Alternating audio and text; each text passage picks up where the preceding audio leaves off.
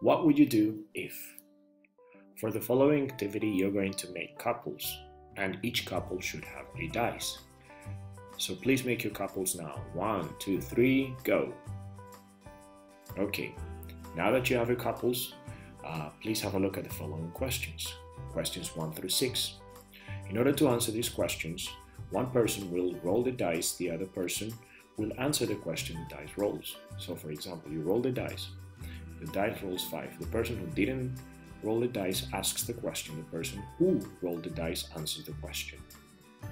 If you have any questions about the vocabulary, vocabulary please let me know. So let's start. You have three minutes to ask and answer. One, two, three, go.